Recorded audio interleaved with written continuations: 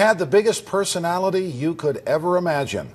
That's how friends are remembering today Ronald Farrell Jr. Good evening. Thank you for watching News Channel 9 Weekend. I'm Dave Staley. I'm Kelsey Bagwell in for Natalie. Police say Farrell, a senior at UTC, passed away from medical problems in his apartment yesterday. We were there today when friends and professors remembered a life they say ended much too soon. His catchphrase was, You good? And he would always ask people, Are you good? Always checking on others and putting their needs before his own. That's how friends and professors are remembering 22 year old Ronald Farrell Jr., who they simply knew as Ron. Ron, he was my partner, my friend, my colleague, my mentor, and it was really hard hearing that he passed away. Friday afternoon, police were called to an apartment building on 8th Street. When they arrived, they determined Farrell had passed away from unknown medical complications. His death has shocked the UTC community.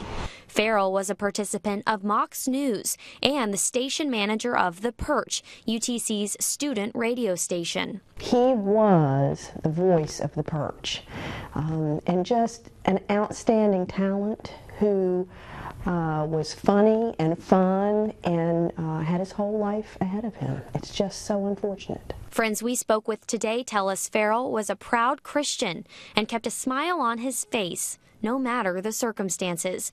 Even though they're working through the pain of losing him, friends choose to remember the lessons Farrell taught them while he was here. He was the largest personality you could ever imagine. It's their leader and their leader is gone.